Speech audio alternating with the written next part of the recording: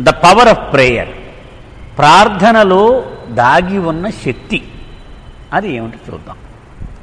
Babuji once asked me do you say a prayer of repentance ఒకరోజు రుష్టం అంటున్నాడు. ఒకరోజు బాబుజీ మాటల్లో అడిగాడు ఎరనైనా రోజు నీవు పశ్చాత్తాప్రార్థన చదువుతావా? అని అడిగాడు.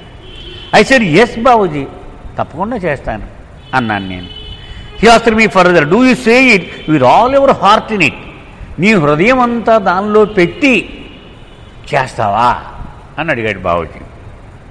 I replied I do my best to focus on Baba at the time but my mind gets distracted with other thoughts నా మనసును మాత్రం లగ్నం చేయడానికి తంటాలు పడుతూ ఉంటాను ఆ ప్రార్థన చెప్పేటప్పుడు కానీ ఇది కోతికరా. అలా గెంతుతూ ఉంటుంది. ఆలోచిస్తూ ఉంటుంది. మళ్ళీ ఎక్కడికి వెళ్ళాలి? పలానా చోటుకి వెళ్ళాలి? రేపు అక్కడికి వెళ్ళాలి? రేపు పని అవుద్దో అవుదో. ప్రార్థన చేస్తూ ఉంటాను కానీ దాని మీద గెంతుతూ ఉంటుంది అన్నాను. బావుజీ కమెంటెడ్ అప్పుడు బావుజీ ఇలా చెప్పారు. The prayers are a very powerful tool that Baba left Baba తన భౌతిక దేహాన్ని విడిచిపెట్టి వెళ్ళిపోతూ మన కోసం ఈ రెండు ప్రార్థనలను ఒరి ఈ రెండు ఉంచుకోరా మీకు ఉపయోగపడతాయి ఇవని ఒక అమూల్యమైన వరాలుగా మనకి ఇచ్చి వెళ్ళాడు ఆయన. If you do it sincerely with all your heart and the spirit of offering all your samskaras or so called sins completely to him then a single prayer given by the lord Himself at a capacity to wipe out all your samskaras అప్పుడు బాబుజీ చెప్పాడు నువ్వు అనుకున్నటువంటి మూటలు సంస్కారముల మూటలు లేక పాపాల గొట్టలు ఇవన్నీ ఈ ఒక్క పశ్చాత్తాప ప్రార్థన నిత్యము హృదయంతో చేస్తే ఈ జీవితంలోనే అవన్నీ మొత్తం నాశనం అయిపోతాయి. ఇందులో ఏం అనుమానం పెట్టుకోకర్లేదు ఒక్క పశ్చాత్తాపరార్థనే చాలు? ఇంకేం అక్కర్లేదు నీకు. నీకు ఎన్ని మూట మూటలు గొట్టలున్నా అన్నీ తరించిపో అంతరించిపోతాయి. There was an expression of disbelief of wonder and of amazement all mingled on my face ఏం మాట్లాడుతున్నాడు అని నేను చాలా ఆశ్చర్యంతో నమ్మలేక బాబుజీ మొహంలో చూశాను. ఏంటి బాబుజీ చెప్తున్నావు నువ్వు? A single prayer can do that ఓ ఒక్కసారి ప్రేయర్ చేసేస్తే పోతాయి ఇవన్నీ. నిన్ను హృదయం పెట్టి ఒక్కసారి ప్రార్థన చేస్తే. If that is then why is it there one has got and this there no one has got and the experience you're talking about అదే నిజమైతే ఒక్కరు కూడా తగలేదు అలాంటి నాకు ఇప్పటికి. ఒక ప్రార్థనతో అయిపోయింది నా సిలబస్ అన్నవాడు ఎవడు కనపడలేదు నాకు ఇప్పటికి. అని రుస్తం సమాధానం ప్రశ్న వేశాడు.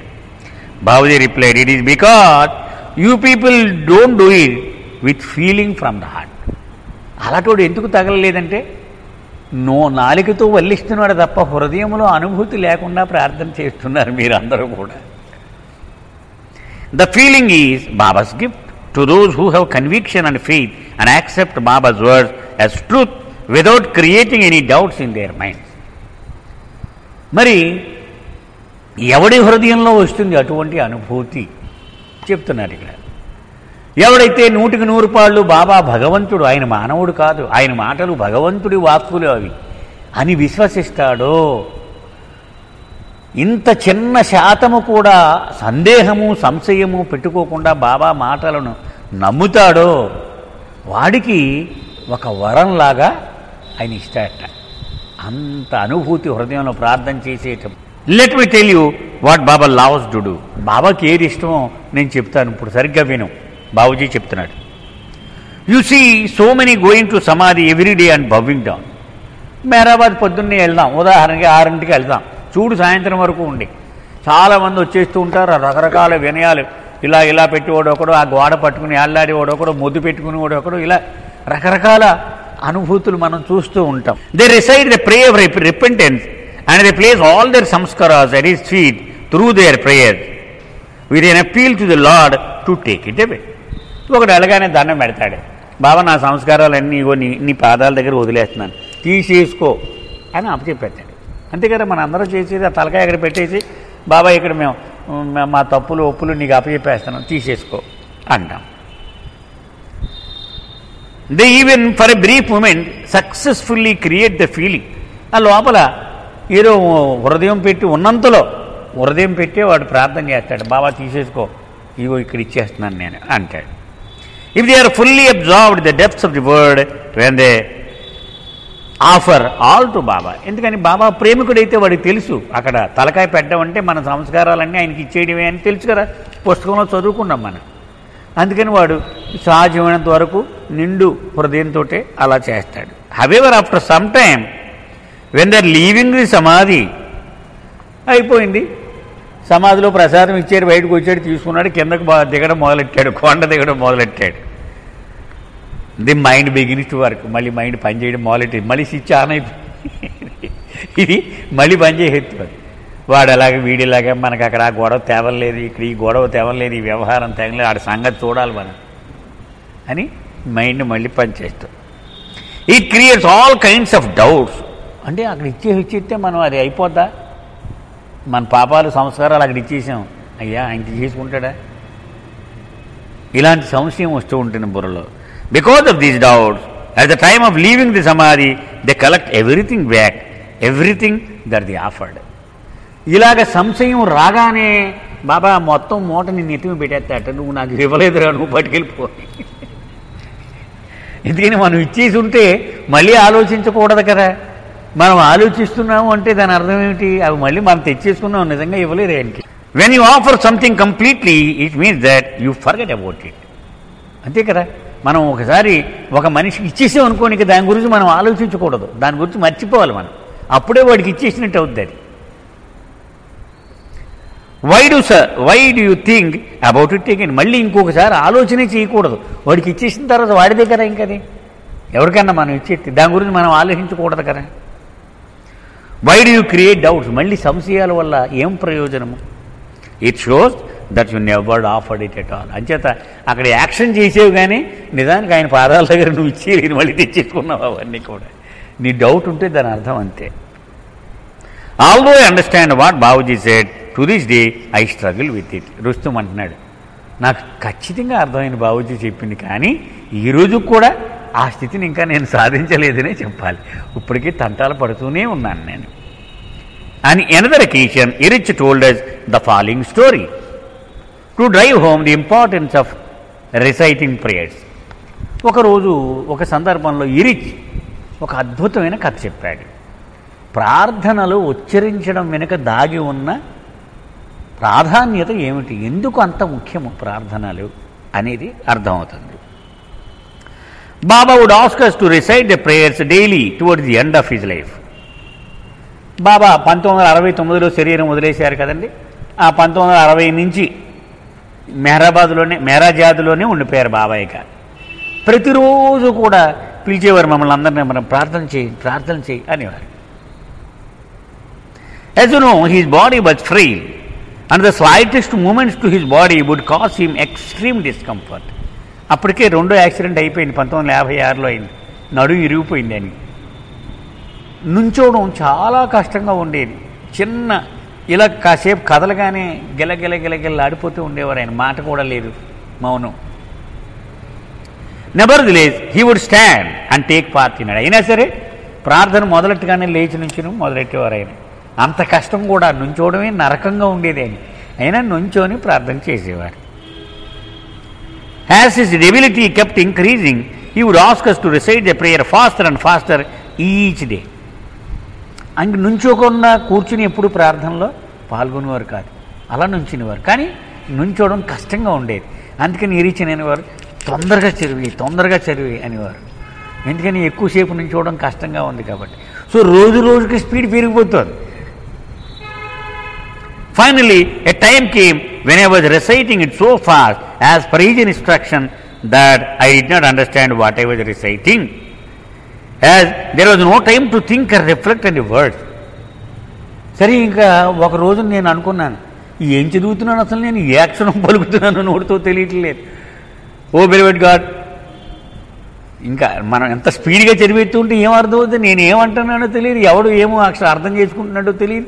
లోపల అనుకోవడం ఎలా కుదురుతుంది ఇంకా? అసలు మాటే ఉచ్చరించడం కష్టం అయిపోయింది it just became a mechanical exercise for me ఊరిక నోట్లోంచి పదాలు వరదలాగా వచ్చేస్తున్నాయి అంతే యాంత్రికం అయిపోయింది which I did because that was what he wanted నేను ఇలా ఎందుకు చేస్తున్నాను? బాబా ఆర్డర్ అది. అందుకని చేస్తున్నాను నేను.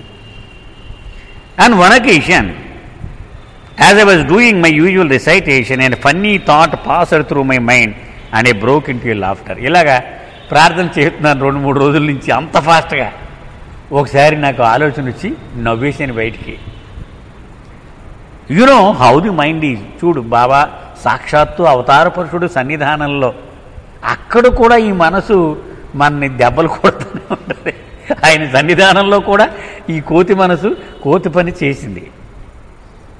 Well while reciting the prayers I was reminded of an express train speeding through a station and I laugh నేను స్టేషన్లో మనం వెయిట్ చేస్తున్నప్పుడు ఆకుండా ప్యాసింజర్ వెళ్ళిపోయింది అనుకోండి గ్రీన్ జెండా చూపెడతాడు ఇలా గాడ్.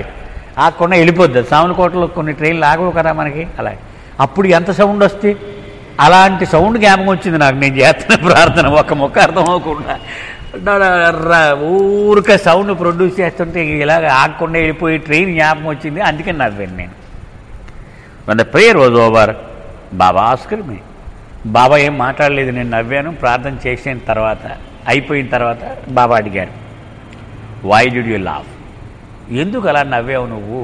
అని బాబా అడిగారు I said that while reciting the prayers I had the thought of a train going through a station and I laugh నేను చెప్పాను. బాబా ఇలా స్టేషన్లో నుంచున్నప్పుడు ఆకుండా రైలు వెళ్ళిపోతే ఎంత రొద చేస్తుంది అది అలాంటి రొద నాకు జ్ఞాపకం వచ్చింది నేను చేస్తున్న ప్రార్థన అందుకని నవ్వాను అన్నాడు. I also wondered what was the idea of reciting the prayer so fast లోపల నేనేమనుకుంటున్నాను తెలుసు ఇలా బాబాతో అంటూ ఎందుకు ఇలాంటి ప్రార్థన చేస్తే ఏం ఉపయోగం ఇది? అని కూడా నేను అనుకున్నాను. ఎందుకంటే మరి బాబా అప్పుడు దాకా చెప్పారు కదా హృదయం పెట్టి చేయాలి. ఇలాగ ఇలాగ ఇవన్నీ విన్నాను కదా. బాబా సెట్ మీ అప్పుడు బాబా ఇలా అన్నారు you have no idea what my ప్రాక్టి participation in these prayers means పిచ్చివాడ నీకు లేశము కూడా అవగాహన లేదు. నేను ప్రార్థనలో పాల్గొనడం ఎంత ముఖ్యమో దాని ఒక ప్రయోజనం ఎంత ఉంటుందో నీకు ఎప్పటికీ అర్థం అవ్వదు. Because of my participation whosoever says these prayers even if mechanically will benefit from it ఊరిక యాంత్రికంగా మనం పొద్దున ఆఫీస్కి వెళ్ళిపోయి టక్కడగా స్నానం చేసి ఓ పరవర్త గారు సర్వపోషక సర్వరక్షక టిఫిన్ పెట్టి రెడీ అండి టైం అయిపోతూ ఉంటుంది. అలాగ యాంత్రికంగా చేసిన ఈ ప్రార్థనలో నేను పాల్గొన్నాను కాబట్టి వాడికి ప్రయోజనం వచ్చేస్తుంది.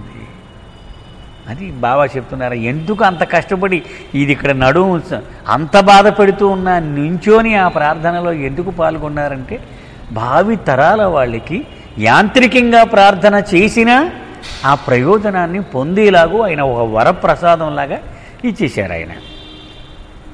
This is because I have participated in it నేను పాల్గొన్నాను కాబట్టి దానికి ప్రాణదానం చేసేసారు ఆ ప్రార్థనకి జీవనదిలాగా అయిపోయిందనమాట అందులో ఎవడు మునిగినా వాడికి లాభం వచ్చేస్తూ ఉంటుంది. వాడికి తెలిసి మునిగినా తెలియక మునిగినా మరి యాంత్రికంగా చేయడం అంటే పిల్లలు చేసేస్తూ ఉంటారు. వాడికి ఏం తెలుసో మాట్లాడతాం ఏం తెలియదు వాడికి. కానీ చెప్పేస్తూ ఉంటాడు ఓ పరవర్తి గారు సర్వపోషగా సర్వరక్షక అక్షరం పలకడం రానోడు కూడా చెప్పేస్తూ ఉంటారు. అయినా వాడికి ఆ ప్రయోజనం వస్తుంది. Address in the pilgrims Eruch would often emphasise Meherazad వచ్చినటువంటి సందర్శకులతో ఇరిచ్ ఎక్కువగా నొక్కి నొక్కి చెప్తూ ఉండేవాడు. Baba put his body through so much suffering and pain because of his love for us భగవంతుడు అయి ఉండి కూడా బాబా తన దేహాన్ని బలి చేశాడు మన కోసం. ఈ పక్క ఒకసారి యాక్సిడెంట్లో ఇరిగిపోయింది. ఈ రెండో పక్క మరొకసారి యాక్సిడెంట్లో విరిగిపోయింది. జీవితం అంతా వర్ణింప అలవికైనటువంటి కష్టాలు భరించాడు. ఎందుకని? మనందరి కోసం. He has given us this wonderful opportunity అనే platter even if you repeat these prayers mechanically will benefit ఇంత చేసి ఏం చేశాడు? ఒక ప్లేట్లో ఒరే ఇది ప్రసాదం నువ్వు తీసుకో నీ దగ్గర ఉంచుకో. యాంత్రికంగా నీవు ఈ ప్రార్థనను ఉచ్చరించినా ఏం పర్వాలేదు నువ్వు మనసు పెట్టలేవు నాకు తెలుసు నీ హృదయం పెట్టలేవు నాకు తెలుసు. అయినా చెయ్యి చాలు రోజు యాంత్రికంగా. అయినా నేను ఇస్తాను నీకు ప్రయోజనం అని బాబా అంత సదుపాయాన్ని మనకు చేకూర్చాడు. He has made it so very easy for us అంటే అంత సులభం చేసేసాడు.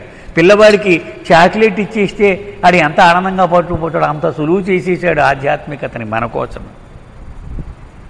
And also given us the benefit of mechanical remembrance యాంత్రికంగా నాలిక ఆడించినంత మాత్రం చేత లాభం చేకూరే పరమభాగ్యము మనకిచ్చాడు ఆయన. So make the most of this wonderful opportunity that is given us అంచేత ఖాళీ లేదు అనద్దు హృదయం పెట్టలేకపోతున్నాను అనద్దు చెయ్యి.